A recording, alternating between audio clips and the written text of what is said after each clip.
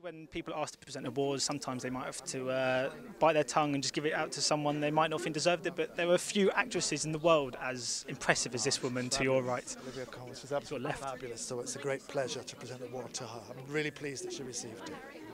And as for the whole event, it, it's, it's a real occasion here where we can celebrate independent cinema. And is that something that you're a big kind of a big fan of? It's great fun to be here. It's lovely to be in, to be invited and to feel as if you're sort of part of the gang. I think one of the, the, the, the sort of big problems that you have if you're trying to make films is that you never feel part of it.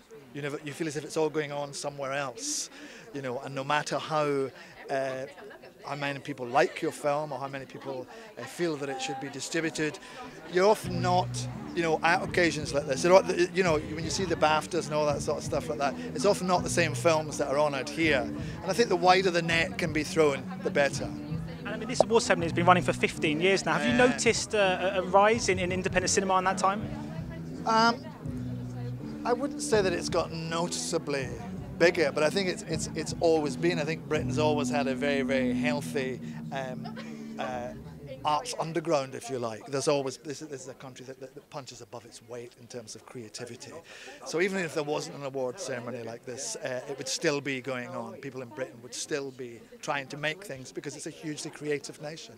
And just finally, what are you, uh, you yourself working on at the moment? Have you got anything in the pipeline? Uh, I've just done this uh, Maleficent, which is this uh, fairy this, uh, this, this, this, big fairy story with Angelina Jolie, which is which has been great.